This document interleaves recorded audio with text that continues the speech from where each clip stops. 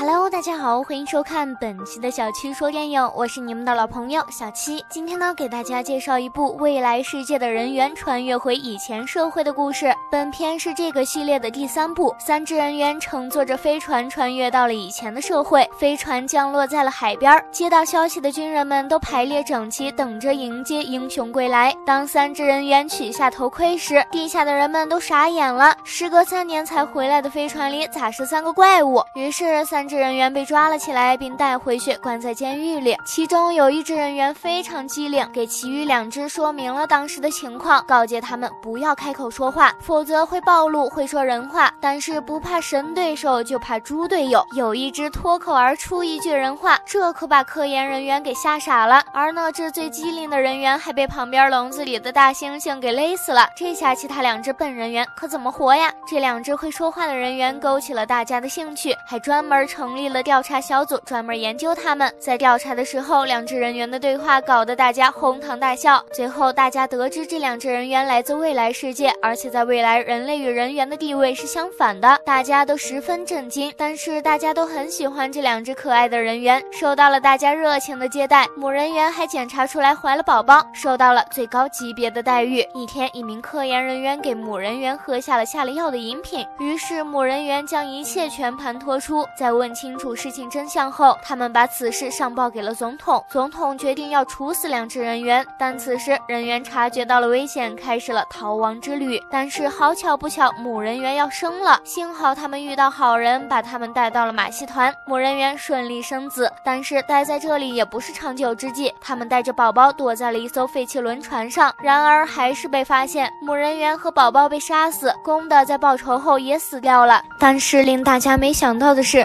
马戏团老板将自己马戏团星星的孩子和人猿宝宝调换了，真正的人猿宝宝并没有被杀死，这可能也是给下一部电影埋了个伏笔。好啦，本期的故事到这里就结束了，感谢大家的收看。如果你喜欢我们的节目，请记得点击关注哦。小七风里雨里和你不见不散，拜拜。